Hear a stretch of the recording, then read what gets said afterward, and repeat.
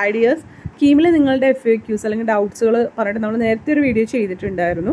അപ്പോൾ പിന്നീട് അതിന് കണ്ടിന്യൂസ് ആയിട്ട് ചെയ്യാൻ ടൈം കിട്ടിയില്ല. ഞാനും വിചാരിച്ചു നിങ്ങളത് എവിടെയാണ് കിടക്കുന്നതെന്നൊക്കെ കാണിച്ചു തന്നുകൊണ്ട് ജസ്റ്റ് നിങ്ങളത് വായിച്ചിട്ടുണ്ടാവും മനസ്സിലാക്കിയിട്ടുണ്ടാവും എന്നുള്ളത്. പക്ഷേ ഈ ക്വസ്റ്റ്യൻസ് കാണുമ്പോൾ നമുക്ക് മനസ്സിലാവേണ്ടത് നിങ്ങളത് കണ്ടിട്ടില്ല എന്നുള്ളത്. ജസ്റ്റ് അപ്പോൾ അതൊന്ന് ക്ലിയർ ചെയ്യാം. പിന്നെ ഓൾറെഡി നേരത്തെ നമ്മളൊരു വീഡിയോ ചെയ്ത് പറഞ്ഞ കാര്യം തന്നെ മിസ്റ്റേക്ക് വന്നിട്ടുമുണ്ട് അപ്പോൾ അതെങ്ങനെ ഇനി സോൾവ് ചെയ്യാമെന്നുള്ള കാര്യം നമുക്ക് ഇതിലൂടെ പറയാം കേട്ടോ. നിങ്ങൾക്ക് വീഡിയോ ഇഷ്ടമാവുണ്ടെങ്കിൽ ഒന്ന് ലൈക്ക് ആകണേ. അപ്പോൾ ഈ ഒരു കാര്യം എന്ന് പറഞ്ഞാൽ നമ്മൾ അപ്ലൈ ചെയ്യുമ്പോൾ ശ്രദ്ധിക്കേണ്ട ഒരു കാര്യമുണ്ട് എപ്പോഴും പറയണതാണ് നമ്മൾ അപ്ലൈ ചെയ്യുമ്പോൾ ഓൾറെഡി അവിടെ ഒരു ആൻസർ വന്ന് കിടക്കണ്ടാവും. ആൻസർ അല്ല നമ്മൾ ടൈപ്പ് കൊടുക്കേണ്ടത് ക്ലിക്ക് ചെയ്ത് കൊടുക്കേണ്ടത്. നമ്മുടെ ആൻസർ എന്താണോ അതാണ് അവിടെ കൊടുക്കേണ്ടത്. ലൈക്ക് ഇപ്പം മിസ്റ്റേക്ക് വന്നേക്കുന്നത് ജനറൽ കാറ്റഗറിയിൽ കൊടുത്തു പോയി റിസർവേഷനുള്ള ഒരാൾ എന്നുള്ളതാണ്. ഇനി എന്തെങ്കിലും ചെയ്യാൻ പറ്റുമെന്നുള്ളതാണ് അപ്പോൾ നമുക്ക് സാധാരണ പറയാന്ന് പറയുന്നത് സി നമുക്കൊരു എഡിറ്റിംഗ് ഓപ്ഷൻ തരാറുണ്ട്. പക്ഷെ എന്തൊക്കെ അതിൽ എഡിറ്റ് ചെയ്യാൻ പറ്റും എന്നുള്ളത് ആ ഒരു നോട്ടിഫിക്കേഷൻ വന്നാലാണ് നമുക്ക് ക്ലിയർ ആവുള്ളൂ. അപ്പോൾ ഇങ്ങനെ വരുന്നവർ ചെയ്യേണ്ട കാര്യം എന്ന് വെച്ചാൽ സിക്കൊന്ന് മെയിൽ ചെയ്തിട്ടേക്കാം. മനസ്സിലായോ? നിങ്ങളുടെ ആപ്ലി നിങ്ങൾ കൊടുത്തേക്കുന്ന മെയിൽ ഐ ഡിയിൽ നിന്ന് നിങ്ങളുടെ ആപ്ലിക്കേഷൻ നമ്പർ വെച്ചിട്ട് ഒരു മെയിൽ ചെയ്തിട്ടേക്കാം. അപ്പോൾ അതിന് നിങ്ങൾക്ക് പേഴ്സണലി അതിനൊരു റിപ്ലൈ ഒന്നും സി തരില്ല. പക്ഷേ ഈ സി എപ്പോഴും പ്രത്യേകത എന്താണെന്ന് വെച്ചാൽ കുട്ടികളുടെ ആവശ്യങ്ങൾ പരിഗണിച്ചിട്ടാണ് അവർ കൗൺസിലിംഗ് മുന്നോട്ട് കൊണ്ടുപോകുന്നത്. കുട്ടികളുടെ റിക്വസ്റ്റുകൾ മെയിലുകൾ ഒക്കെ അവർ പരിഗണിക്കാറുണ്ട്.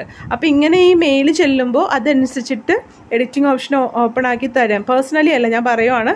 നിങ്ങൾക്ക് ക്വിസാറ്റിൽ ചിലപ്പോൾ നിങ്ങൾക്ക് പ്രൊഫൈൽ വെരിഫിക്കേഷനിൽ എന്തെങ്കിലും മിസ്റ്റേക്ക് ഉണ്ടെങ്കിൽ അവർ ചിലപ്പോൾ നിങ്ങളുടെ ആ ഒരു പ്രൊഫൈൽ ഒന്ന് എഡിറ്റ് ചെയ്യാൻ ഓപ്പൺ ആക്കി തരാറുണ്ട് അല്ലേ? പക്ഷേ হচ্ছে ഈ സി അങ്ങനെ തരമൊന്നുമില്ല നമ്മൾക്ക് എല്ലാവർക്കും കൂടി ഒരു എഡിറ്റിംഗ് ഇപ്പോൾ ഫിസാച്ച് എല്ലാവർക്കും കൂടി ഒരു എഡിറ്റിംഗ് ഓപ്ഷനും തരും. പിന്നെ നമ്മുടെ പേഴ്സണൽ റിക്വസ്റ്റുകൾ അവർക്ക് ജെനുവിൻ ആണെന്ന് തോന്നിയാൽ അത് കറക്റ്റ് ചെയ്യാനായിട്ട് നമുക്കത് ഓപ്പൺ ആക്കി തരാറുണ്ട്. പക്ഷേ സി അങ്ങനെ ചെയ്യാറില്ല. എല്ലാവർക്കും കൂടി ഒരു ടൈം എന്നുള്ള നിലക്കാണ് വെക്കുന്നത്. ആ ഒരു സമയത്ത് നമ്മൾ ചെയ്യാം. പക്ഷേ എപ്പോഴും കുട്ടികളുടെ അവരുടെ റിക്വസ്റ്റുകൾ മാനിക്കാറുണ്ട്. അപ്പോൾ അതുകൊണ്ട് നിങ്ങൾ മിസ്റ്റേക്ക് വന്നേക്കണവർ അതനുസരിച്ചിട്ടുള്ള റിക്വസ്റ്റ് അതിന്റെ സർട്ടിഫിക്കറ്റുകളൊന്നും അറ്റാച്ച് ചെയ്ത് അയക്കണ്ട. ജസ്റ്റ് ഒരു മെയിൽ ചെയ്തിടാന്നുള്ളൂ എന്നുള്ളത് മാത്രമേ ഉള്ളൂ കേട്ടോ അപ്പം എഡിറ്റിംഗ് ഓപ്ഷൻ ഇതാക്കി തരും. അപ്പോൾ ഈ ആ എഡിറ്റ് ചെയ്യുന്ന സമയത്ത് നിങ്ങൾക്ക് അതനുസരിച്ചിട്ട് ചെയ്യാം. പക്ഷേ ഇനിയിപ്പോൾ നിങ്ങൾ അപ്ലോഡ് കാറ്റഗറി ജനറലിൽ നിന്ന് വച്ചു. പക്ഷേ നിങ്ങൾ അവിടെ സർട്ടിഫിക്കറ്റുകൾ അപ്ലോഡ് ചെയ്യേണ്ട സ്ഥലത്ത് സർട്ടിഫിക്കറ്റ് അപ്ലോഡ് ചെയ്തിട്ടുണ്ടെങ്കിൽ ഒരു പക്ഷേ സി സർട്ടിഫിക്കറ്റ് വെരിഫൈ ചെയ്യുന്ന സമയത്ത് ഓട്ടോമാറ്റിക്കായിട്ട് ഇ ഡബ്ല്യു എസ് അല്ലെങ്കിൽ ഇപ്പോൾ നോൺ ക്രിമിനലയർ ആണെങ്കിൽ അത് ഒരു പക്ഷേ വന്നേക്കാം കേട്ടോ. അത് പ്രശ്നം വരില്ല. അപ്പോൾ നിങ്ങളിപ്പോൾ ശ്രദ്ധിക്കേണ്ടത് ഇങ്ങനെ നിങ്ങൾ ഈ കാറ്റഗറിയൊക്കെ മിസ്റ്റേക്ക് വന്നു പോയി എന്ന് പറഞ്ഞിട്ട് നിങ്ങളുടെ ആപ്ലിക്കേഷനൊന്നും റിജക്റ്റ് ആവണമൊന്നുമില്ല. നിങ്ങൾക്ക് കീം എക്സാം എഴുതാനും റാങ്ക് ലിസ്റ്റിൽ നിങ്ങളുടെ മാർക്ക് അനുസരിച്ചിട്ട് വരാനും അതുപോലെ തന്നെ ബാക്കി കൗൺസിലിങ്ങിൽ പാർട്ടിസിപ്പേറ്റ് ചെയ്യാനും എല്ലാം പറ്റും. പക്ഷേ അപ്പോൾ അവിടെ നിങ്ങൾക്ക് ഡബിൾ ഹാർഡ് വർക്കിന്റെ ആവശ്യമുണ്ട്. ഒരു റിസർവേഷൻ ഉണ്ടെങ്കിൽ കുറച്ചും കൂടി ചെറിയൊരു റാങ്കിൽ നിങ്ങൾക്ക് അവിടെ അഡ്മിഷൻ കിട്ടും. പക്ഷെ റിസർവേഷൻ ഇല്ലെങ്കിൽ കുറച്ചും കൂടി ഹാർഡ് വർക്ക് ചെയ്യണം. അപ്പോൾ അതുകൊണ്ട് തന്നെ അതിനെപ്പറ്റി കൂടുതൽ ടെൻഷൻ ആവാതെ നിങ്ങൾ എക്സാമിൽ കോൺസെൻട്രേറ്റ് ചെയ്യുക. നിങ്ങൾക്ക് അറിയാലോ കീമിന്റെ മാർക്കും പ്ലസ് ടുയുടെ മാർക്കുമാണ് ഇതിൽ എടുക്കുന്നത്. അപ്പോൾ പ്ലസ് ടു നന്നായിട്ട് എഴുതാൻ പറ്റിയില്ലാത്തവരും ഈ കീം കോൺസെൻട്രേറ്റ് ചെയ്ത് പഠിക്കുക. അപ്പോൾ ഞാൻ പറയണത് എന്താണെന്ന് വെച്ചാൽ ജനറലായി പോയി എന്ന് പറഞ്ഞിട്ട് അവിടെ വിഷമിച്ചിരിക്കേണ്ട. കൂടുതൽ എഫേർട്ട് അപ്പോൾ ഇടണം നിങ്ങൾ കേട്ടോ. അപ്പോൾ ആ ഒരു എഫേർട്ട് നിങ്ങൾ ഇടുക. നിങ്ങൾക്ക് റാങ്ക് ലിസ്റ്റ് വരുന്നതിനോ അല്ലെങ്കിൽ കൗൺസിലിംഗ് എടുക്കുന്നതിനോ ഒന്നും ഒരു കുഴപ്പമൊന്നുമില്ല കേട്ടോ. പിന്നെ വേറൊരു കാര്യം കൂടി നിങ്ങളുടെ അടുത്ത് ഒന്നും കൂടി ഓർമ്മിക്കുകയാണ്. കാരണം ഇതും പറഞ്ഞു കഴിഞ്ഞാൽ വീണ്ടും ക്വസ്റ്റ്യൻ വരുന്ന ഒരു കാര്യമാണ്. നിങ്ങൾ ഇരുപതാം തീയതി വരെ സിഇക്ക് നിങ്ങൾക്ക് സർട്ടിഫിക്കറ്റ് അപ്ലോഡ് ചെയ്യാൻ ഒരു സമയം തന്നിട്ടുണ്ട് അല്ലേ? അപ്പോൾ ആ ഇരുപതാം തീയതിക്കുള്ളിൽ നിങ്ങളുടെ ഏതെങ്കിലും ഒരു സർട്ടിഫിക്കറ്റ് പുതുക്കി കിട്ടാതിരിക്കുകയോ അല്ലെങ്കിൽ വാങ്ങിയ സർട്ടിഫിക്കറ്റ് തെറ്റായി പോയിട്ട് വീണ്ടും വാങ്ങാൻ നിൽക്കുകയൊക്കെ ചെയ്യുവാണെങ്കിൽ പോലും ഇരുപതാം തീയതിക്കുള്ളത് കിട്ടിയില്ലെങ്കിൽ നിങ്ങൾ കയ്യിലുള്ള ആ ഒരു സർട്ടിഫിക്കറ്റ് ആ ഒരു പ്ലേസിൽ ആഡ് ആക്കി കൊടുക്കുക. കാരണം നമുക്കൊരു മിസ്റ്റേക്ക് വന്നിട്ടുണ്ടെങ്കിൽ സി വീണ്ടും ഒരു ടൈം നമുക്ക് തരും. അത് കറക്റ്റ് ചെയ്യാമെന്ന് പറഞ്ഞിട്ട് സർട്ടിഫിക്കറ്റ് പുതിയത് കൊടുക്കാൻ പറഞ്ഞിട്ട് ഒരു മെമ്മോ തരും. പക്ഷെ അവിടെ ഒരു സർട്ടിഫിക്കറ്റിന്റെ പ്ലേസിൽ നമ്മൾ ബ്ലാങ്ക് ആക്കി ഇട്ടേക്കാണ്. പിന്നീട് നമുക്ക് എന്തെങ്കിലും ഒരു ചാൻസ് വരുമ്പോൾ കൊടുക്കാമെന്ന് വെച്ചാൽ അങ്ങനെ ഒരു ചാൻസ് ഇതുവരെ സി തന്നിട്ടില്ല. ഇനി ഈ വർഷം തരുമെന്നുള്ളത് നമുക്ക് അറിയാനും പാടില്ല. അപ്പം അതുകൊണ്ട് ആ സർട്ടിഫിക്കറ്റിന്റെ പ്ലേസിൽ അത് അപ്ലോഡ് ചെയ്ത് കൊടുക്കാൻ പ്രത്യേകം ശ്രദ്ധിക്കുക അതുപോലെ കൺ അതിനോട് കണക്ട് ചെയ്ത് പറയേണ്ട മറ്റൊരു കാര്യമാണ്.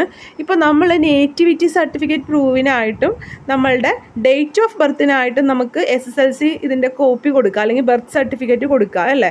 അപ്പോൾ ആദ്യം ചോദിച്ച പ്ലേസിൽ ഞാൻ എസ് എസ് എൽ സിയുടെ കോപ്പിയോ അല്ലെങ്കിൽ ബർത്ത് സർട്ടിഫിക്കറ്റോ കൊടുത്തിട്ടുണ്ട്.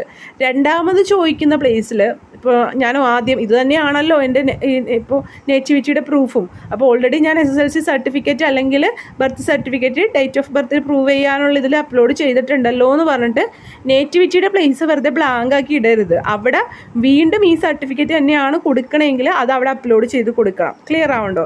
നിങ്ങൾ ഒരു പ്ലേസിൽ അല്ലെങ്കിൽ ഒരു റിസർവേഷനായിട്ട് നിങ്ങൾ രണ്ട് ഒരു സർട്ടിഫിക്കറ്റ് തന്നെയാണ് ഉദ്ദേശിക്കണമെങ്കിലും ആ രണ്ട് പ്ലേസിലും അതായത് രണ്ട് റിസർവേഷനായിട്ട് നിങ്ങൾ ഒരു സർട്ടിഫിക്കറ്റ് തന്നെയാണ് അപ്ലോഡ് ചെയ്യാൻ ഉദ്ദേശിക്കുന്നത് എങ്കിലും നിങ്ങൾ ആ രണ്ട് സ്ഥലത്തും ആ ഒരു ആ സർട്ടിഫിക്കറ്റ് തന്നെ രണ്ട് പ്രാവശ്യം കൊടുക്കണം. ബ്ലാങ്ക് ആക്കി ഇടരുതെന്നാണ് പറയണത് കേട്ടോ. ഈ നേറ്റിവിറ്റി സർട്ടിഫിക്കറ്റ് എന്ന് പറയുന്ന ഒരു കാര്യം വളരെ ഇമ്പോർട്ടന്റ് ആണ്. അത് നിങ്ങൾ ആ ഒരു പ്ലേസിൽ അതിനുള്ള പ്രൂഫ് കൊടുത്തില്ലെങ്കിൽ നിങ്ങൾക്ക് എക്സാം എഴുതിയാലും നിങ്ങളുടെ ഈ റിസൾട്ട് പബ്ലിഷ് ചെയ്ത് കിട്ടാനും റാങ്ക് പബ്ലിഷ് ചെയ്ത് കിട്ടാനും ശേഷം ഓപ്ഷൻസ് കൊടുക്കാനും ഒക്കെ ബുദ്ധിമുട്ടുണ്ടാവും. അത് ക്ലിയർ ചെയ്ത് കൊടുക്കാനായിട്ട് സി പല പ്രാവശ്യം സമയം തരും. രണ്ടായിരത്തി ഇരുപത്തിരണ്ട് വരെ സമയം തന്നിട്ടുണ്ടായിരുന്നു. പക്ഷേ എന്നാലും ആദ്യം ചെയ്യുമ്പോൾ തന്നെ അത് ക്ലിയർ ആയിട്ട് ചെയ്യാൻ നേറ്റിവിറ്റി പ്രൂഫ് ഫീസ് അടക്കൽ അതും വളരെ ഇമ്പോർട്ടന്റ് ആണ്. അതൊക്കെ നിങ്ങൾ ക്ലിയർ ആയിട്ട് ചെയ്യുക എപ്പോഴും ആപ്ലിക്കേഷൻ കംപ്ലീറ്റ് ആവണത് നമ്മൾ അപ്ലൈ ചെയ്തതിന്റെ പ്രിന്റ് ഔട്ട് എടുത്ത് അതിൽ നമ്മുടെ ആപ്ലിക്കേഷൻ നമ്പർ അത് വന്നിട്ടുണ്ടോ എന്നുള്ളത് നോക്കുക കേട്ടോ. അത് വളരെ ഇമ്പോർട്ടന്റ് ആയിട്ടുള്ള ഒരു കാര്യമാണ്. ബാക്കി നമുക്ക് തെറ്റുകളൊക്കെ വന്ന് പോയാലും ഇപ്പോൾ ഒരു റിസർവേഷൻ കിട്ടില്ല അല്ലെങ്കിൽ വേറെ എന്തെങ്കിലും കാര്യങ്ങൾ ഉണ്ടാവില്ല എന്നുള്ളൂ. നമ്മൾക്ക് എക്സാം എഴുതുന്നതിനും റാങ്ക് ലിസ്റ്റ് വന്നതിനും ഈ കൗൺസിലിങ്ങിൽ പങ്കെടുക്കുന്നതിനൊന്നും ഒരു കുഴപ്പമുണ്ടാവില്ല മനസ്സിലാവണ്ടോ? നമ്മുടെ റാങ്ക് അനുസരിച്ചിട്ട് നമുക്ക് അതനുസരിച്ച് കിട്ടും. പക്ഷേ നമ്മൾ എക്സാം ഫീസ് അടച്ചില്ല നേറ്റിവിറ്റി പ്രൂഫിന് കറക്റ്റായിട്ട് കൊടുത്തില്ല പിന്നെ ഫോട്ടോ സിഗ്നേച്ചർ അതൊക്കെ. ഫോട്ടോ സിഗ്നേച്ചറിന് നമുക്ക് എല്ലാ പ്രാവശ്യവും ഒരു ടൈം തരാറുണ്ട്. ദയവായിട്ട് ഇതിനൊക്കെ സമയം കിട്ടും എന്നുള്ള ഒരു ഒരു ലേ ഒരു ലേസി മൈൻഡിൽ നിങ്ങൾ ഇനി ചെയ്യാനിരിക്കുന്നവർ മിസ്റ്റേക്ക് ഒന്നും വരുത്തരുത്. ഈ പറയുന്നത് ചെയ്ത് പോയവർ കുറേ പേര് അങ്ങനെ മിസ്റ്റേക്ക് വരുത്തി എന്ന് പറഞ്ഞിട്ട് വിഷമിക്കേണ്ട. അവർക്കായിട്ടാണ് പറയണത് കേട്ടോ ഇത് എല്ലാത്തിനും നമ്മൾ ഒരു സി എപ്പോഴും നമുക്കൊരു സമയം തരാറുണ്ട്. അപ്പം അതുകൊണ്ട് ചെയ്തു പോയ മിസ്റ്റേക്കിൽ നിങ്ങൾ വിഷമിക്കാതെ നിങ്ങൾ എക്സാം നന്നായിട്ട് എഴുതാൻ നോക്കുക കേട്ടോ. ജനറൽ കാറ്റഗറിയിൽ വരുന്ന ഒരാൾക്ക് ഡബിൾ എഫേർട്ട് എടുക്കേണ്ട വരും. പ്രിസർവേഷനൊന്നും ഇല്ലെങ്കിൽ എന്നുള്ളത് മനസ്സിലാക്കുക കേട്ടോ. ഓക്കെ ഇപ്പോൾ അങ്ങനെ മൈനോറിറ്റി സർട്ടി ഒരുപാടൊന്നും പുറകോട്ടൊന്നും പോവാറില്ല റാങ്ക്.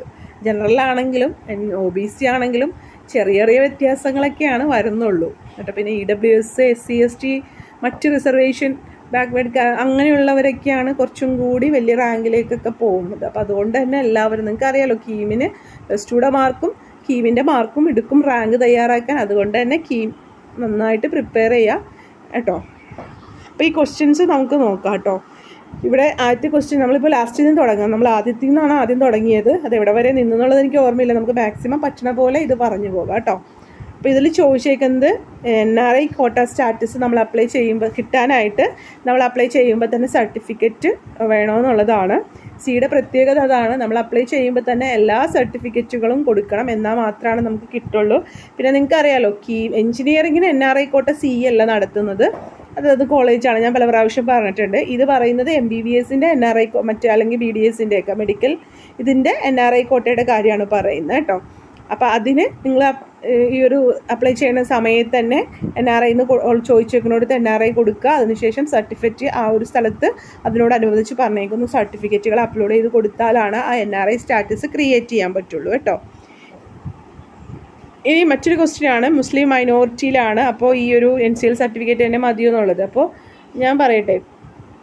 ഞാൻ നേരത്തെ പറഞ്ഞു എന്നറിയില്ല നിങ്ങളിപ്പോൾ ഒരു സർട്ടിഫിക്കറ്റ് തന്നെ രണ്ട് സ്ഥലത്ത് നമുക്ക് അപ്ലോഡ് ചെയ്യാൻ പറ്റും. പക്ഷേ ആ, രണ്ട് സ്ഥലത്തും അത് തന്നെ കൊടുക്കണം. ഇപ്പോൾ നോൺ ക്രിമിലെയർ വിഭാഗത്തിൽ വരാത്തവർക്ക് മൈനോറിറ്റി കോളേജുകളിൽ മൈനോറിറ്റി സീറ്റ് ഉണ്ട്.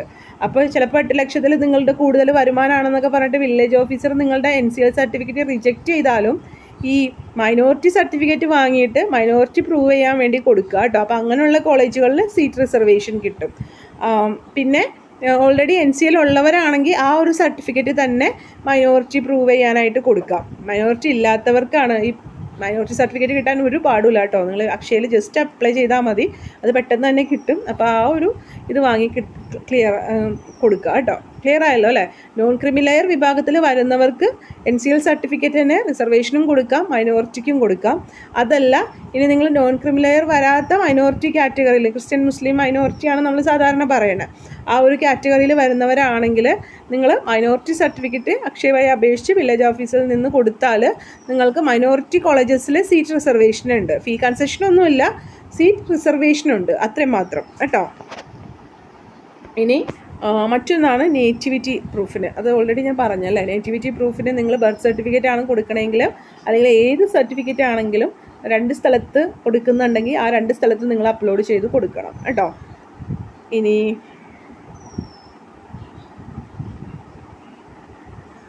can I rectify defect in online applications okay അതായത് നിങ്ങളുടെ എന്തെങ്കിലും നിങ്ങൾക്ക് ഡിഫക്റ്റുകൾ ഉണ്ടെങ്കിൽ സി മെമ്മോ തരാറുണ്ട്. അപ്പോൾ ആ ഒരു മെമ്മോ തരുന്ന സമയത്ത് അത് കറക്റ്റ് സമയം അറിയണം. വെബ്സൈറ്റ് റെഗുലറായിട്ട് നോക്കുക. പിന്നെ നമ്മളും എപ്പോഴും എല്ലാ നോട്ടിഫിക്കേഷൻസും കൊടുക്കാൻ ശ്രമിക്കാറുണ്ട്. പക്ഷേ വെബ്സൈറ്റ് നിങ്ങൾ കറക്റ്റായിട്ട് നോക്കുക കേട്ടോ. അപ്പോൾ ആ ഒരു സമയത്ത് നമുക്ക് ഒരു മെമ്മോ വരും. എന്തെങ്കിലും ഡിഫക്റ്റ് നമ്മുടെ ഫോട്ടോഗ്രാഫിലോ സിഗ്നേച്ചറിലോ എന്തെങ്കിലും ഉണ്ടെങ്കിൽ നമുക്കൊരു മെമ്മോ വരും. അപ്പോൾ നമുക്ക് ക്ലിയർ ചെയ്ത് കൊടുക്കാം. പിന്നെ അതനുസരിച്ചിട്ട് പിന്നെ സർട്ടിഫിക്കറ്റ് അപ്ലോഡ് ചെയ്ത് കൊടുത്തേക്കുന്നതിലും മിസ്റ്റേക്ക് ഉണ്ടെങ്കിൽ മെമ്മോ തരാറുണ്ട്. അപ്പോൾ നമുക്ക് ഡിഫക്റ്റ് അത് കൊടുക്കുക എന്നുള്ളതാണ് പറയുന്നത് കേട്ടോ. അഡ്മിറ്റ് കാർഡ് അഡ്മിറ്റ് കാർഡ് നമുക്ക് പോസ്റ്റ് വഴിയൊന്നും അല്ല വരുന്നത് കേട്ടോ. അഡ്മിറ്റ് കാർഡ് വരുന്നത് അഡ്മിറ്റ് കാർഡ് വരുന്ന സമയമാകുമ്പോൾ സി അനൗൺസ് ചെയ്യും നോട്ടിഫിക്കേഷൻ വരും. ആ ഒരു സമയത്ത് നിങ്ങളിപ്പോൾ അപ്ലൈ ചെയ്തിട്ട് നിങ്ങൾക്ക് ഇനി കാൻഡിഡേറ്റ് പോർട്ടൽ ആ സിയുടെ വെബ്സൈറ്റിൽ കാണാം. കാൻഡിഡേറ്റ് പോർട്ടൽ എന്ന് പറഞ്ഞിട്ട്. അവിടെ നിങ്ങളുടെ ആപ്ലിക്കേഷൻ നമ്പറും പാസ്വേഡും നിങ്ങൾ ക്രിയേറ്റ് ചെയ്തില്ലേ? അത് നിങ്ങൾ എഴുതി വെച്ചിട്ടുണ്ടാവും അല്ലേ? അപ്പോൾ അത് രണ്ടും കൊടുത്തിട്ടുണ്ടെങ്കിൽ ഓപ്പൺ ആയി കിട്ടും. ഓപ്പൺ ആകുമ്പോൾ അവിടെ ഡൗൺലോഡ് അഡ്മിറ്റ് കാർഡ് എന്ന് പറഞ്ഞിട്ട് ഒരു മെനു പിന്നീട് ഇപ്പോഴല്ല അത് വരുന്ന സമയത്ത് സി അറിയിക്കും. അപ്പോൾ നിങ്ങൾക്ക് അതിൽ നിന്ന് അഡ്മിറ്റ് കാർഡ് ഡൗൺലോഡ് ചെയ്തെടുക്കാം കേട്ടോ. എന്നിട്ട് സൂക്ഷിച്ച് എക്സാം കഴിഞ്ഞാലും അത് സൂക്ഷിച്ചൊന്ന് വച്ചേക്കുക കേട്ടോ. കളയണ്ട. എന്നിട്ട് അത് നമ്മൾക്ക് എക്സാം ഹാളിൽ കൊണ്ടുവരണം. ഓക്കെ അപ്പോൾ ആ അഡ്മിറ്റ് കാർഡ് നമുക്ക് പോസ്റ്റിൽ വഴിയൊന്നും അല്ല വരുന്നത്. നമ്മളുടെ പ്രൊഫൈലിൽ നിന്ന് നമ്മൾ ഡൗൺലോഡ് ചെയ്ത് ചെയ്തെടുക്കുകയാണ് ചെയ്യേണ്ടത് കേട്ടോ. പിന്നെ നിങ്ങൾ കാൻഡിഡേറ്റ് ലോഗിൻ ചെയ്യണേ മുമ്പായിട്ട് ഫോണിലാണെങ്കിൽ ഡെസ്ക് ടോപ്പ് സൈറ്റിലേക്ക് മാറ്റിയിട്ടിട്ട് ലോഗിൻ ചെയ്യുക. അപ്പോൾ നിങ്ങൾക്ക് എല്ലാ കാര്യങ്ങളും കറക്റ്റായിട്ട് വിസിബിൾ ആവും. അല്ലെങ്കിൽ ചിലപ്പോൾ ഫോണിൽ തന്നെ ലോഗിൻ ചെയ്യുമ്പോൾ ചില കാര്യങ്ങൾ വിസിബിൾ ആവില്ല. അപ്പോൾ അതും കൂടി ഒന്ന് ശ്രദ്ധിക്കാം ഇനി അടുത്തൊരു കാര്യം. If I have paid the application fee I could not go the next step okay application fees വളരെ ഇമ്പോർട്ടന്റ് ആണ്. നമ്മൾ ആപ്ലിക്കേഷൻ ഫീസ് അടച്ചാലാണ് അതിന് ശേഷമുള്ള നെക്സ്റ്റ് സ്റ്റെപ്പിലേക്ക് പോകാനും അത് കംപ്ലീറ്റ് ആവാനും ഒക്കെ നമുക്ക് സാധിക്കുള്ളൂ. അപ്പോൾ അതുകൊണ്ട് തന്നെ ഈ നമ്മൾ ആപ്ലിക്കേഷൻ ഫില്ല് ചെയ്ത് ഫീസും അടച്ചിട്ടുണ്ട്.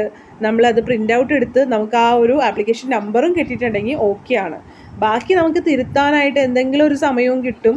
മനസ്സിലാവണ്ടോ പക്ഷെ എന്ന് പറഞ്ഞിട്ട് നിങ്ങൾ ലേസി മൈൻഡിലൊന്നും തെറ്റാക്കി വെക്കരുത്. ഞാൻ പറയുന്നത് തെറ്റ് പറ്റിപ്പോയവർക്കുള്ള ഒരു ഇതാണ് പറയണേ കേട്ടോ ആപ്ലിക്കേഷൻ നമ്പർ ആപ്ലിക്കേഷൻ ഫീസ് വളരെ ഇമ്പോർട്ടന്റ് ആണ് കേട്ടോ അപ്പോൾ അതുകൊണ്ട് തന്നെ നമ്മൾ പ്രിന്റ് ഔട്ട് എടുത്തിട്ട് ആപ്ലിക്കേഷൻ നമ്പർ അവിടെ വന്നിട്ടുണ്ടോ എന്നുള്ളതും ക്ലിയർ ആക്കുക. ഫീസ് അടച്ചാൽ മാത്രമാണ് നമുക്ക് ആ ഒരു ഇത് കിട്ടുള്ളൂ ആപ്ലിക്കേഷൻ നമ്പർ അപ്പോൾ അതുകൊണ്ട് തന്നെ ഫീസ് അടക്കുക എന്നുള്ളത് ഇതാണ്. പിന്നെ ചിലവർക്ക് ഇപ്പോൾ നമ്മൾ കൊടുക്കുമ്പോൾ നമ്മൾ കൊടുക്കണ അനുസരിച്ചിട്ടാണല്ലോ നമ്മുടെ ഫീസ് വരുന്നത്. അപ്പോൾ ചില കാറ്റഗറിക്ക് ഫീ കുറവുണ്ട്. അപ്പോൾ നമ്മൾ ആ ഒരു കാറ്റഗറി ആണെന്ന് പറഞ്ഞിട്ട് നമ്മൾ ആ ഒരു ഇത് കൊടുത്തു. ഇപ്പോൾ എസ് സി അല്ലെങ്കിൽ എസ് ടി കൊടുത്തു അപ്പോൾ ആ ഒരു സമയത്ത് നമ്മളുടെ ഫീസ് കുറവായിരിക്കും. പക്ഷെ നമ്മൾ സർട്ടിഫിക്കറ്റ് അപ്ലോഡ് ചെയ്ത് കൊടുത്തത് ക്ലിയർ അല്ലെങ്കിൽ നമ്മളുടെ ആ ഒരു റിസർവേഷൻ കിട്ടിയില്ലെങ്കിൽ ആ ഫീസ് വീണ്ടും നിങ്ങൾക്ക് അടയ്ക്കേണ്ടതായിട്ട് വരും. അപ്പോൾ അതിനായിട്ട് മെമ്മോ വന്നിട്ടുണ്ടാവും. അപ്പോൾ ആ ഒരു സമയത്ത് നിങ്ങൾ ആപ്ലിക്കേഷൻ ഫീസ് അടച്ചാണ്. പിന്നെ എന്താ എനിക്ക് ആപ്ലിക്കേഷൻ ഫീസ് വന്നേക്കുന്നത് എന്നുള്ളൊരു ക്വസ്റ്റ്യൻ ഉണ്ടാവും. അപ്പോൾ ഓർക്കുക നിങ്ങൾ ആ പറഞ്ഞ റിസർവേഷൻ കൊടുത്തത് കൊണ്ടായിരിക്കും നിങ്ങൾക്ക് അവിടെ ആപ്ലിക്കേഷൻ ഫീസ് കുറഞ്ഞത്. പക്ഷേ അത് പ്രൂവ് ചെയ്യാൻ പറ്റാഞ്ഞത് കൊണ്ടായിരിക്കും വീണ്ടും ആപ്ലിക്കേഷൻ ഫീസ് സാധാരണ ജനറൽ കാറ്റഗറിയുടെ അല്ലെങ്കിലൊക്കെ അടക്കാനായിട്ട് പറയുന്നത്. കേട്ടോ. അതിലേക്ക് മാറുവാണല്ലോ നിങ്ങൾ ആ റിസർവേഷൻ ഇല്ലെങ്കിൽ. അപ്പോൾ ജനറൽ കാറ്റഗറിയുടെ ഫീസ് വരും. പിന്നെ ഇപ്പോൾ പോസ്റ്റ് ഓഫീസിലൊക്കെ അടച്ചവർ ഇപ്പോൾ നമ്മൾ ആപ്ലിക്കേഷൻ ഫീസ് അടച്ച് കഴിയുമ്പോൾ അവിടെ ഒരു പേയ്മെന്റ് ഗ്രീൻ കാണിക്കും. അപ്പം അങ്ങനെ കാണിക്കാത്തത് എന്താ എന്ന് ചോദിക്കാറുണ്ട് ചിലവർ ഇപ്പോൾ അത് നമ്മൾ പോസ്റ്റ് ഓഫീസ് നമ്മളിപ്പോൾ ഓൺലൈൻ വഴിയൊക്കെ ആണെങ്കിൽ അത് അത്ര പ്രശ്നമില്ല. ഉടനെ തന്നെ അവിടെ ഗ്രീൻ ആയിട്ട് വരും. പക്ഷേ നമ്മളിപ്പോൾ പോസ്റ്റ് ഓഫീസ് വഴിയാണെങ്കിൽ അവിടെ ആ ഒരു പോസ്റ്റ് ഓഫീസിൽ അവരത് എന്റർ ചെയ്യണം അല്ലേ? അപ്പോൾ അത് നിങ്ങളൊന്ന് അന്വേഷിക്കുക. അങ്ങനെയുള്ളവർക്ക് ഒരു പക്ഷേ ട്വന്റി ഫോർ അവേഴ്സൊക്കെ കഴിയും.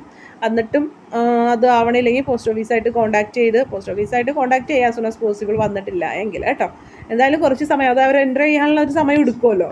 അപ്പോൾ അത് മനസ്സിലാക്കുക പിന്നെ ഇപ്പോൾ ഇപ്പോൾ നിങ്ങൾക്ക് ഒരു എ ടി എം കാർഡ് ഇല്ലാത്തവരില്ല അല്ലേ? ഇനിയിപ്പോൾ ഇൻ കേസ് എന്തെങ്കിലും അങ്ങനെ എ ടി എം കാർഡ് ഇല്ലാത്തവരാണ് എങ്കിൽ നിങ്ങൾക്ക് ഇപ്പോൾ കഫേയിലോ അക്ഷയയിലൊക്കെ ആണെങ്കിൽ ആ അവിടുത്തെ ആളുകൾക്ക് പൈസ കൊടുത്തിട്ട് നിങ്ങൾക്ക് ആ ഒരു അവരുടെ അക്കൗണ്ടിൽ നിന്ന് അത് ചെയ്യിക്കാം. കുഴപ്പമില്ല. കീമിൽ അങ്ങനെ ഒരു പ്രശ്നം വരുന്നില്ല. നിങ്ങളിപ്പോൾ അക്ഷയ വഴിയോ കഫേ വഴിയോ ഒക്കെയാണ് ആപ്ലിക്കേഷൻ കൊടുക്കണമെങ്കിൽ അവരുടെ അക്കൗണ്ടിൽ നിന്ന് ഫീസ് ഈ പറയുന്ന ഈ ഒരു ഫീസ് അടക്കണതിന് കുഴപ്പമില്ല. എം സി സിയിലൊക്കെ ചെയ്യുമ്പോഴാണ് നിങ്ങളുടെ കറക്റ്റ് നിങ്ങളുടെ അക്കൗണ്ടിൽ നിന്ന് തന്നെ അടക്കേണ്ടത്. പിന്നെ ഇപ്പോൾ സി ഒരു ഓപ്ഷൻ രജിസ്ട്രേഷൻ ഫീസ് വെക്കുന്നുണ്ടല്ലോ. അപ്പോൾ ആ ഒരു ടൈമിൽ ഒന്ന് ശ്രദ്ധിക്കുക സി എന്താണ് നോട്ടിഫിക്കേഷൻ പറയുന്നതെന്നുള്ളത് നോക്കുക. കാരണം ഒരുപക്ഷെ ഇപ്പോൾ എം സി സിയിലൊക്കെ ആണെങ്കിൽ നമ്മൾ ഫീസ് അവരുടെ അക്കൗണ്ടിൽ നിന്ന് അടിച്ചാൽ നമുക്ക് പിന്നീട് റിട്ടേൺ വരുന്നത് ആ അക്കൗണ്ടിലേക്കായിരിക്കും കീം സാധാരണ നമ്മളോട് നമ്മുടെ സർട്ടിഫി നമ്മുടെ അക്കൗണ്ട് നമ്പർ കൊടുക്കാൻ പറയാറുണ്ട് ഫീ റിട്ടേണിന്റെ സമയത്ത്. അപ്പോൾ അതുകൊണ്ട് അത് അത്ര പ്രശ്നം വരുന്നില്ല. നമ്മൾ അക്ഷയിൽ നിന്ന് അടച്ചാലും. അപ്പോൾ ആ ഒരു സമയത്ത് നമ്മൾ ഒന്നും കൂടി ഒന്ന് ശ്രദ്ധിക്കണം. അങ്ങനെ എന്തെങ്കിലും ഇൻസ്ട്രക്ഷൻ പറയുന്നുണ്ടോ നിങ്ങളുടെ അക്കൗണ്ടിൽ നിന്ന് തന്നെ അടക്കണം എന്നുള്ളത്. ഇപ്പോൾ ഈ ഒരു ആപ്ലിക്കേഷന്റെ സമയത്ത് കുഴപ്പമില്ല. നിങ്ങളുടെ കഫേൽ അക്കൗണ്ട് ആ ഒരു സാറിന്റെ അക്കൗണ്ടിൽ നിന്നോ അല്ലെങ്കിൽ അക്ഷയുടെ സാറിന്റെ അക്കൗണ്ടിൽ നിന്നോ നിങ്ങൾക്ക് അടക്കണതിന് ഒരു കുഴപ്പമില്ല കേട്ടോ. അപ്പോൾ നിങ്ങൾ എ ടി എം കാർഡൊന്നും ഇല്ലാത്തവരാണെങ്കിൽ ഈ പോസ്റ്റ് ഓഫീസ് വഴി ഒന്ന് അടിച്ച് ബുദ്ധിമുട്ടണം എന്നില്ല. ഈ പറഞ്ഞ പോലെ അവരുടെ അക്കൗണ്ടിൽ നിന്നാണെങ്കിലും നിങ്ങൾ ആ ഒരു പേയ്മെന്റ് അവർക്ക് കൊടുത്താൽ മതി. അങ്ങനെ അടച്ചു തരുന്ന അക്ഷയ സെന്റേഴ്സും കഫേസും ഒക്കെ ഉണ്ട് കേട്ടോ. പിന്നെ അടുത്തൊരു ക്വസ്റ്റ്യൻ ആ അത് ചെല്ലാൻ തന്നെയാണ്. അപ്പോൾ അത് ഞാൻ നേരത്തെ പറഞ്ഞു.